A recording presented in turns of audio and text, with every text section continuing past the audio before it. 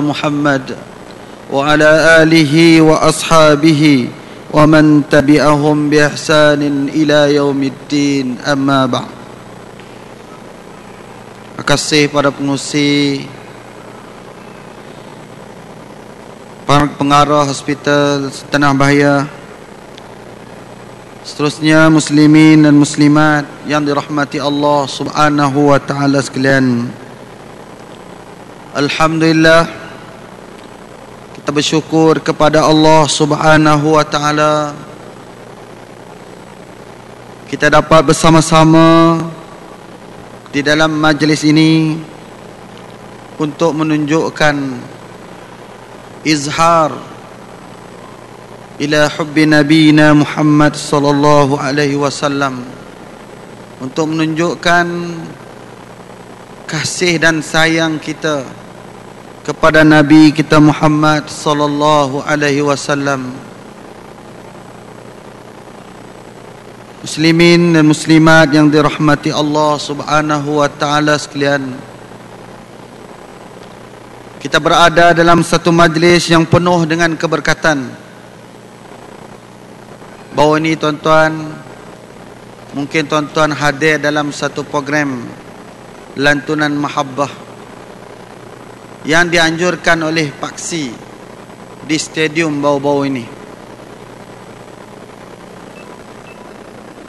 tuan-tuan dalam majlis tersebut pada malam yang kedua pada malam itu ada qasidah dan ada ceramah yang disampaikan oleh beberapa orang penceramah Antaranya Ustaz Zainal Asri, Ustaz Ibrahim yang memberi ceramah pada malam tu. Tuan-tuan, pada malam tersebut ada seorang budak perempuan. Dia duduk di hadapan. Dia duduk di depan dan dia kenal dengan Ustaz Ibrahim yang sedang memberi ceramah. Sekali-sekala dia langut tengok Ustaz Ibrahim dia tunduk ke bawah dia langut tengok Ustaz Ibrahim dia tunduk ke bawah dia langut kali yang ketiga. Tuan-tuan dia tengok dalam majlis itu Rasulullah sallallahu alaihi wasallam berada dalam majlis tersebut. Sedang hadirin yang dirahmati Allah Subhanahu wa taala sekalian. Kalaulah orang yang syahid di jalan Allah Allah Ta'ala menyebut wala taqulu liman yuqtalu fi sabilillahi amwat bal ahya'un jangan kamu kata mereka yang mati di jalan Allah itu mati bal ahya'un bahkan mereka hidup mereka yang syahid di jalan Allah Allah Subhanahu wa taala menyebut jangan kamu kata mereka mati. Yang jangan kamu kata mereka mati. Sedangkan mereka hidup di sisi Allah Subhanahu wa taala. Farihin bima atahumullah min fadli. Mereka gembira dengan apa yang Allah Subhanahu wa taala berikan kepada mereka. Itu mereka yang syahid di jalan Allah sedangkan ini adalah nabi kita Muhammad sallallahu alaihi wasallam sedangkan nabi adalah sayyidul anbiya penghulu kepada segala nabi. Maka nabi boleh hadir di dalam majlis kita pada hari ini tuan-tuan. Sekurang-kurangnya Rasulullah tahu kata kita ada majlis pada hari ini. Sedang hadirin yang dirahmati Allah subhanahu wa ta'ala sekalian. Tadi adik Mawadah menceritakan kepada kita tentang saat bagaimana Allah Subhanahu wa taala memanggil kekasihnya? Nabi sallallahu alaihi wasallam.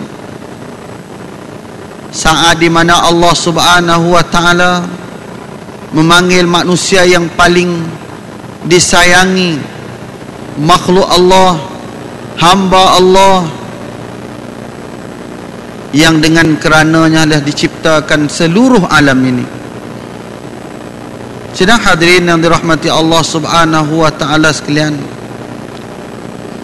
Nabi sallallahu alaihi wasallam seperti mana yang telah dibacakan dalam berjanji tadi wa kana sallallahu alaihi wasallam syadidul haya wat tawadhu adalah Nabi sallallahu alaihi wasallam syadidul haya sangat malu dan sangat tawadhu dan dia menampal kasutnya sendiri menjahitnya sendiri.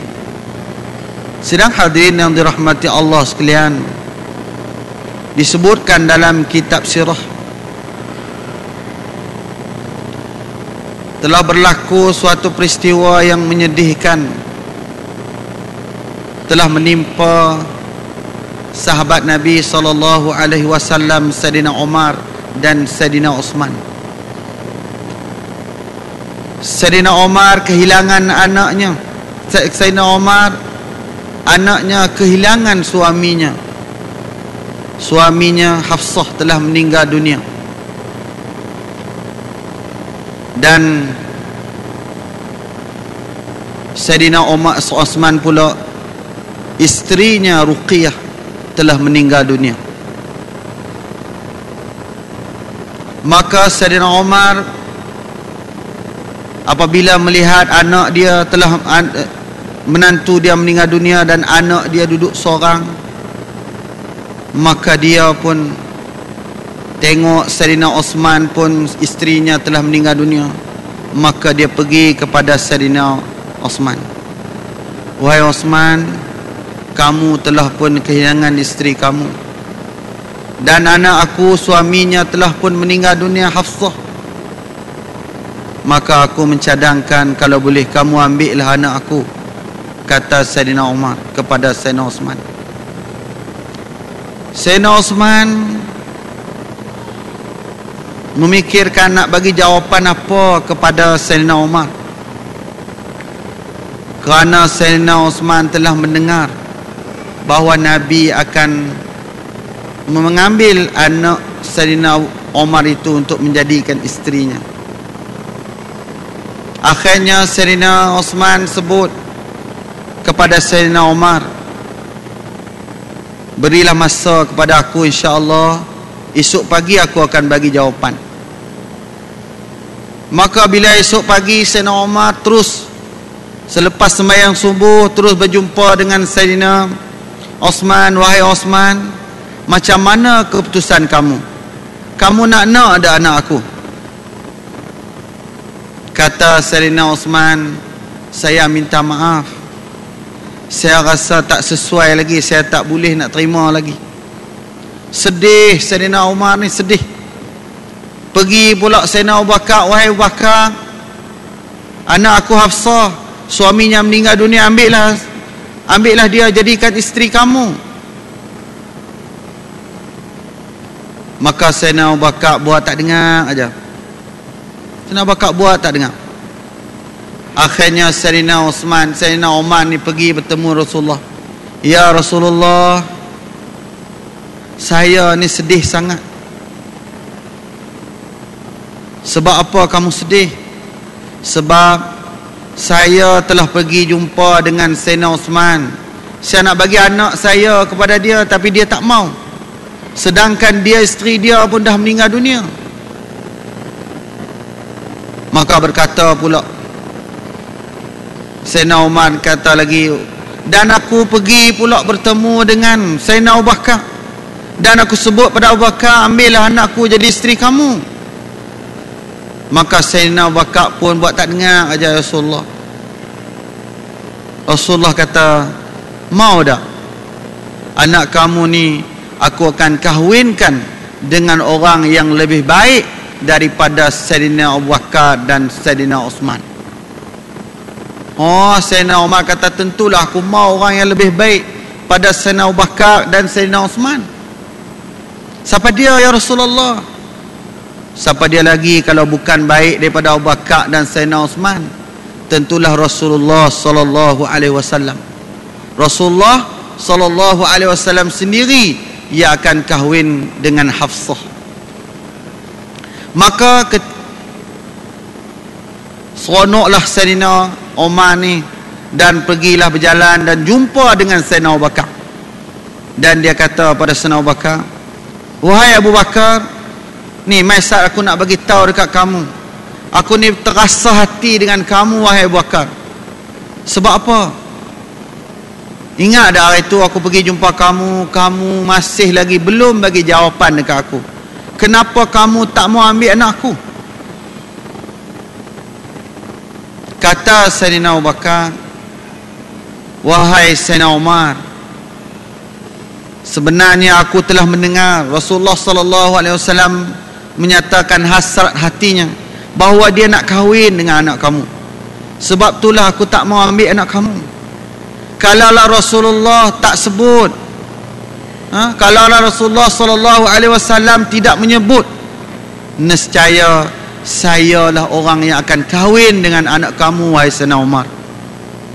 Tengah-tengah mereka sembang tu tiba-tiba datang Sayyidina Osman bila datang Sayyidina Osman ni sengap diam. Abu Bakar diam Sayyidina Umar pun diam. Sebab apa? sebab Sayyidina Osman ni seorang yang paling pemalu. Dan Nabi SAW pun sangat malu dengan Sayyidina Umar ni. Eh, dengan Sayyidina Osman ni. Satu hari disebutkan dalam satu kisah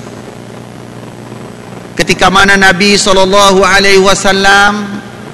duduk dengan para sahabat dalam keadaan nampak betih Nabi SAW ha, Nabi duduk dengan para sahabat nampak betih.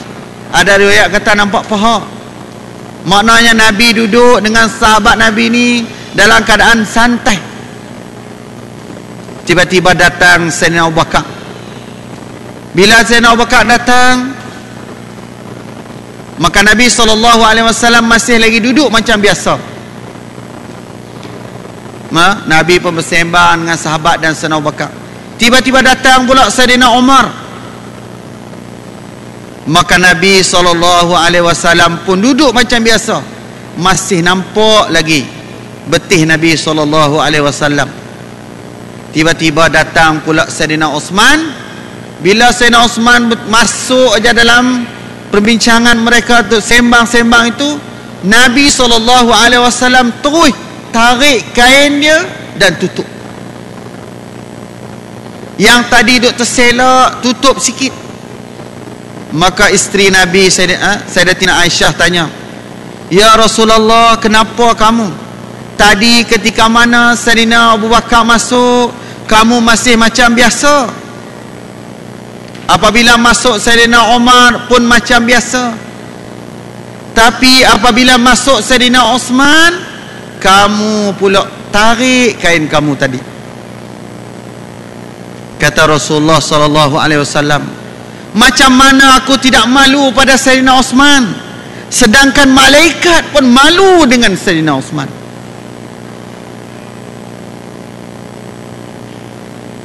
Sedangkan sedangkan malaikat pun malu dengan Sayyidina Osman. Itulah Sayyidina Osman. Maka masuklah Sayyidina Osman ketika mana Sayyidina Abu Bakar dan Sayyidina Umar duduk sembang tadi. Sayyidina Osman mai. Bila Sayyidina Osman sampai aja maka diam. Sayyidina Umar dengan Sayyidina Abu Bakar tadi diam. Sampai di depan mereka Sayyidina Osman kata Mai ni sahabat-sahabat sekalian. Saya nak cerita kamu satu kisah. Saya baru balik dari rumah Nabi SAW Oh maka mereka pekat dengar cerita Yang dibawa Yang disampaikan oleh Sayyidina Osman ni. Seorang yang sangat malu ni. Sayyidina Osman Bila dia masuk dan dia cerita Dia kata wahai sahabatku sekalian tadi waktu aku pergi rumah Nabi sallallahu alaihi wasallam Nabi pada ketika itu dia sedang menjahit kasutnya sendiri. Allahu akbar. Ha, Nabi ketika mana aku pergi rumah dia aku pergi sampai di rumah Nabi tadi aku tengok Nabi sedang menjahit kasutnya sendiri. Inilah yang diceritakan oleh Dr. Harundin dalam ceramah beliau. Ketika mana beliau dianugerahkan oleh Allah Subhanahu wa taala boleh bertemu dengan Nabi sallallahu alaihi wasallam dalam mimpi beliau. Beliau menyatakan bahawa ketika mana Rasulullah sallallahu alaihi wasallam meletakkan kaki di atas pahanya ketika itu dia melihat kasut yang dipakai oleh Nabi sallallahu alaihi wasallam maka diangkat kasut itu kata Dr. Rundin. Bila diangkat dan ditengok Masya Allah kasut itu dijahit oleh Nabi wasallam. Dan dia kata kepada kasut itu wahai kasut kamu lebih mulia daripada aku. Aku ni siapa? Kamu lebih mulia daripada aku kerana kamu menjaga Nabi wasallam. Aku ni siapa? Itu kasut Nabi maka Nabi sallallahu alaihi wasallam syadidul haya wat tawadhu Nabi sangat malu dan Nabi sangat tawadha. Nabi pakai kasut yang dijahit sendiri. Dan baju Nabi dijahit oleh Nabi sallallahu alaihi wasallam. Kata Sayyidina Osman aku tengok Nabi jahit baju dia sendiri. Baju itulah yang Nabi nak pakai ni musim sejuk. Kata Sayyidina Osman selepas itu Nabi wasallam ada 8 dirham. No? ada 8 dirham maka Nabi SAW nak pergi beli baju di pasar maka Nabi bawa 8 dirham sampai dia dekat dengan tengah perjalanan tiba-tiba ada seorang yang susah minta pada Nabi. Maka Nabi SAW memberikan kepadanya 2 dirham. Tinggal lagi enam dirham. Maka Nabi pergi ke pasar. Nabi beli baju empat dirham. Lebih dua dirham. Balik dalam perjalanan tiba-tiba ada orang minta pada Nabi ya Rasulullah saya nak nak baju. Maka Nabi berikan bajunya kepada orang tadi dan Nabi pergi pula ke pasar beli pula baju dengan harga dua dirham. Habis lapan dirham. Nabi balik dalam perjalanan. Bila sampai di perjalanan Nabi jumpa pula seorang menangis. Maka Nabi SAW bawa orang perempuan ni balik pergi bertemu dengan tuan dia. Maka Nabi bawa perempuan ni pergi bertemu dengan tuan dia dan tuan dia tengok Rasulullah sallallahu alaihi wasallam datang ke rumah dia seronok.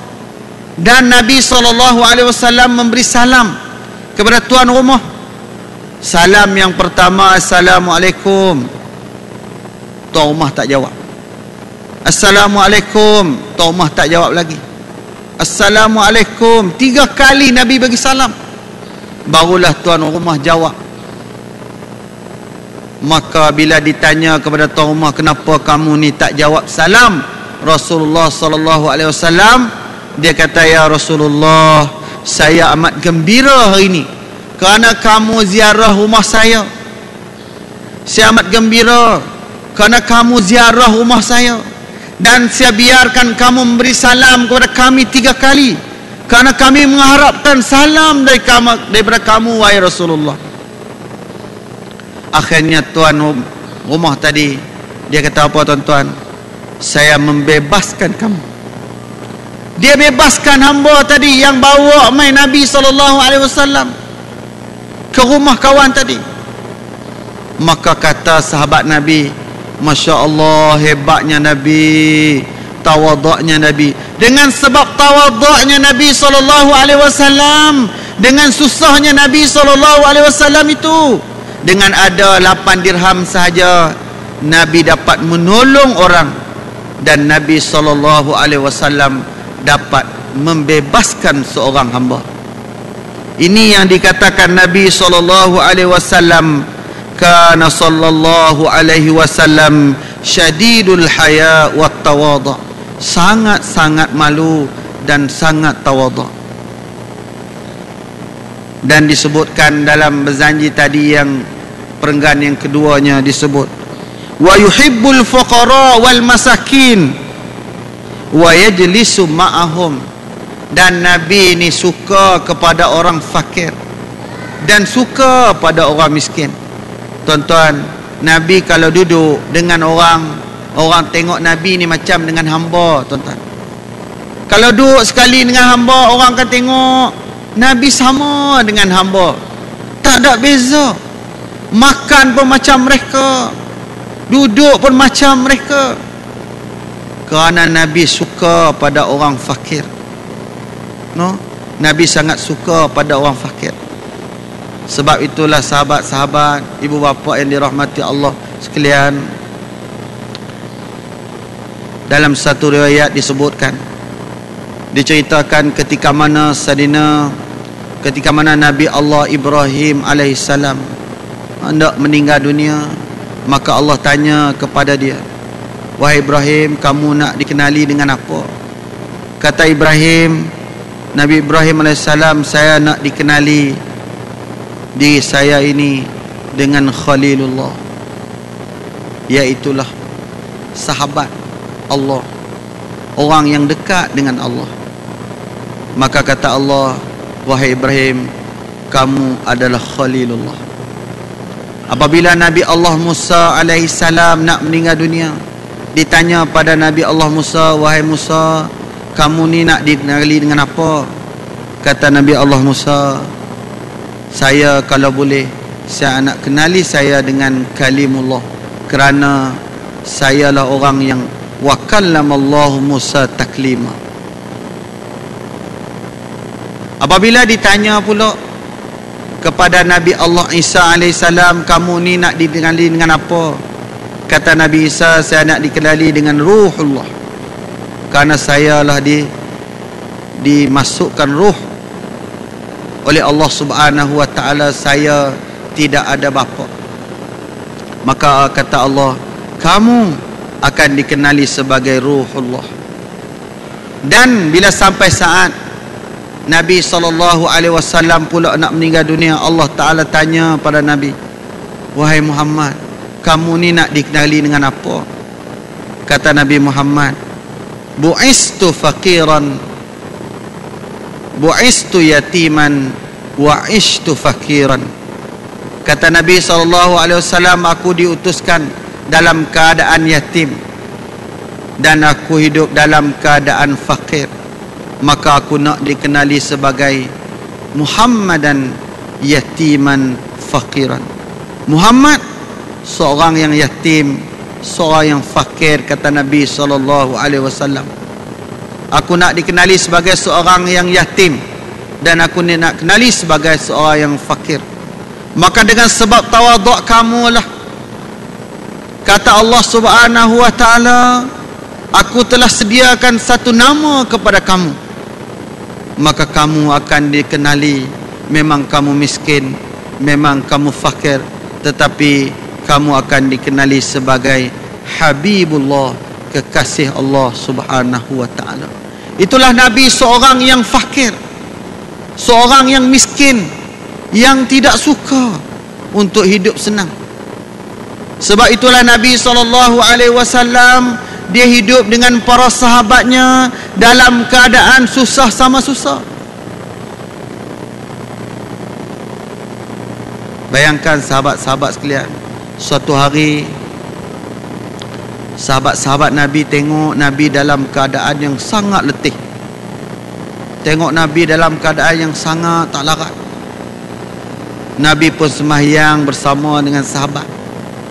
Bila Nabi semahyang sahabat-sahabat ni duk tengok Nabi bergerak lambat rokok lambat sujud lambat dan ketika mana Nabi rokok dan sujud sahabat-sahabat dengar macam bunyi sesuatu dekat lutut Nabi wasallam.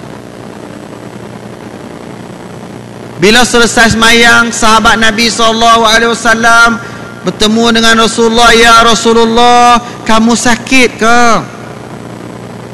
"Wahai Rasulullah, kamu sakit ke?" Rasulullah kata, "Tak, saya tak sakit." Rasulullah bagi tahulah, "Adakah kamu sakit sungguh?" Sebab tadi kami tengok kamu semayang dalam keadaan yang sangat letih. Rasulullah kata ada. Akhirnya bila didesak oleh para sahabat. Nabi angkat jubah beliau Nabi angkat jubah Nabi bila Nabi angkat sahabat-sahabat tengok terkejut kerana Nabi SAW ikat di perutnya dengan batu. Batu diikat di perut Nabi. Dua batu diikat di perut Nabi SAW batu itulah yang duk bunyi. Sebab apa tuan-tuan? Kerana Nabi lapar terlalu lapar. Tidak ada makanan. Allahu Akbar kita hari ini Masya Allah makan begitu banyak. Sampai tak larat nak makan. Disebutkan dalam satu riwayat Sayyidina Abu Bakar ni dia makan enam hari sekali. Masya Allah kita sehari enam kali lebih kurang ha? jadi lebih kurang Nabi ya kot.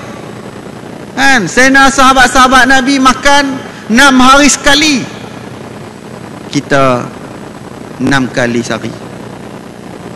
Suatu hari Nabi SAW dan para sahabat disebutkan dalam tafsir Sofwatut Tafasir cerita tentang Alhaakumut Takathur hatta zurtumul maqabir kalla sawfa ta'lamun thumma kalla sawfa ta'lamun kalla law ta'lamuna ilmal yaqin لترون الجحيم ثم لترونها عين اليقين ثم لتسألن يومئذ عن النعيم ثم لتسألن يومئذ عن النعيم ثم لتسألن يومئذ عن النعيم ayat ni. Kamu kemudian akan ditanya di hari kiamat nanti tentang nikmat yang Allah Subhanahu wa taala berikan kepada kamu disebutkan kisah ketika mana Abu Bakar As-Siddiq Sayyidina Umar Abu Bakar pergi di tengah hari di masjid. Sampai di masjid tengok ada Sayyidina Umar. Wahai Umar kamu ni bersepa main masjid? Kata Sayyidina Umar saya main masjid ni tengah hari ni kerana saya lapar Oh kamu lapar Kata saya Sena Abu Bakar Sebenarnya saya pun lapar juga. Sebab itulah saya main masjid. Tiba-tiba tengah mereka bersembang dua-dua orang. Datang pula Nabi SAW Tengok Sayyidina Abu Bakar Dengan Sayyidina Umar ni duduk di masjid. Tengah hari. Wahai Bakar Wahai Umar Kamu ni pasal apa? Dua-dua orang puan ni main masjid kami ya Rasulullah kami lapar. Kata Rasulullah sebenarnya saya pun lapar. Kalau macam tu kata Rasulullah jom kita pergi rumah sahabat Abu Ayyub Al-Ansari. Ha? kerana Abu Ayyub Al-Ansari ni adalah tempat ketika mana Nabi SAW hijrah Nabi duduk di rumah Abu Ayyub Al-Ansari. Maka semenjak Nabi duduk di rumah Abu Ayyub Al-Ansari mula daripada hari itu Abu Ayyub menyediakan makanan kepada Nabi. Walaupun Nabi dah tak duduk rumah dia dia akan sedia makanan untuk Nabi SAW kalaulah Rasulullah akan hadir hari ini maka dia akan bagi kalau Rasulullah tak ada rumah dia maka dia akan berikan makanan itu pada anak-anak dia. Maka dia akan sedia. Dia akan sediakan makanan. Maka kata Nabi jom kita pergi rumah Abu Ayyub Al-Ansari. Maka pergilah Sayyidina Bakar Sayyidina Umar dengan Rasulullah sallallahu alaihi wasallam pergi rumah Abu Ayyub Al-Ansari. Sampai di rumah Abu Ayyub Al-Ansari Abu Ayyub Al-Ansari tak ada rumah. Ya ada isteri dia Isteri dia kata suami dia ada dekat ladang saat lagi dia balik. Ketika itu Abu Ayub tengok dah nampak Rasulullah di rumah dia. Dia pun terus balik. Sampai depan rumah dia tengok Rasulullah, dia jemput Rasulullah masuk dan dia bawa makanan bawa kurma pada Rasulullah yang elok. Rasulullah kata kami bukan anak ni. Dia makan yang ni Rasulullah makan yang ni dan memang dia dah sediakan. dia akan sediakan makanan untuk Nabi SAW maka disembelih binatang disembelih kambing untuk Nabi dan dua orang sahabat tadi. Kerana diseronok maka disembelihkan kambing dan disediakan kepada Nabi SAW dan Sayyidina Abu Bakar dan Sayyidina Umar. Maka makanlah Sayyidina Abu Bakar Sayyidina Umar dan Rasulullah. Maka Rasulullah kata dekat Abu Ayub wahai Abu Ayub boleh tak sediakan sedikit untuk anak aku Fatimah. Kerana dia lama dah tak makan macam ni. Tuan-tuan cuba bayang tengok. Kita tak boleh nak bayang bagaimana susahnya Nabi. Bagaimana susahnya para sahabat Nabi. Kerana kita hari ini hidup dalam keadaan senang. Kita hari ini hidup dalam keadaan cukup-cukup senang. Kita tak boleh nak bayangkan bagaimana kehidupan Nabi dan para sahabat.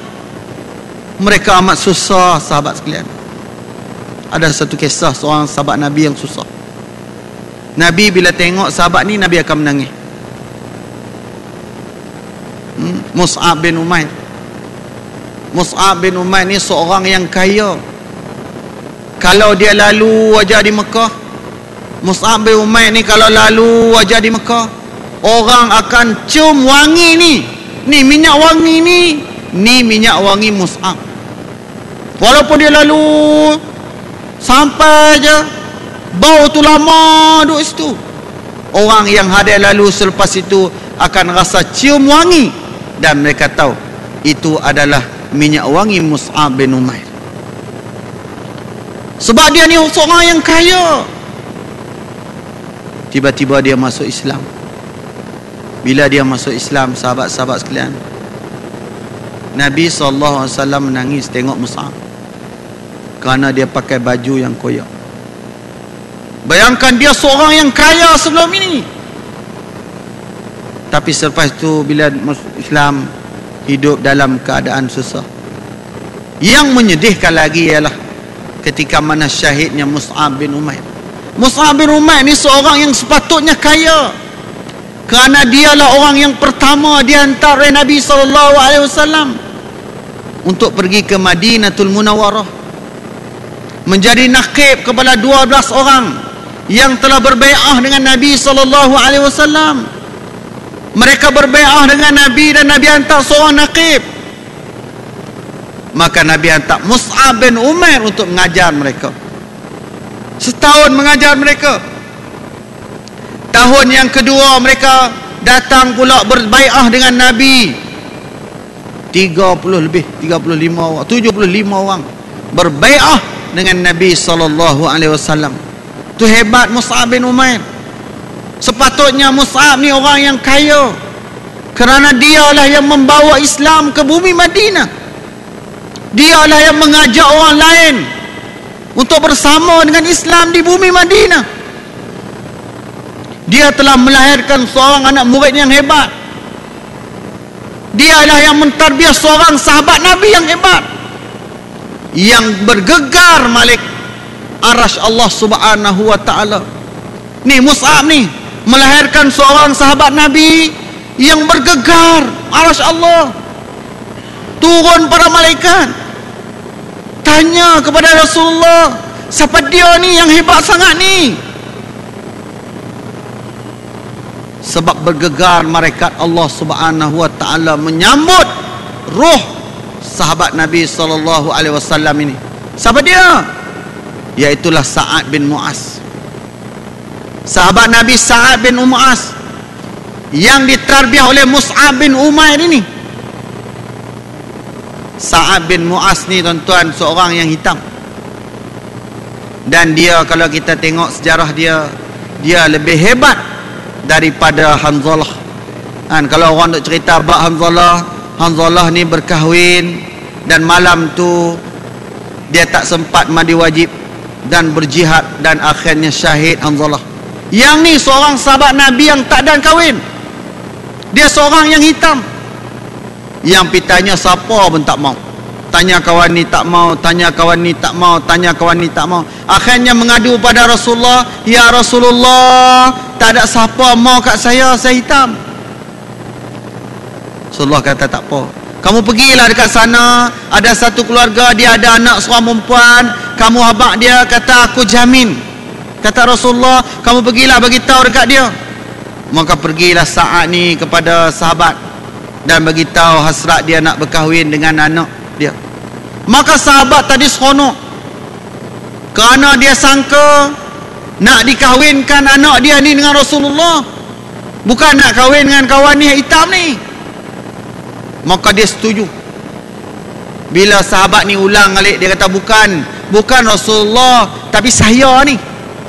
Saya ni. Kamu ke kalau kamu tak jadi ambil balik. Allah sedih. Hang hitam. Balik sahabat ni balik. Anak tadi dengar.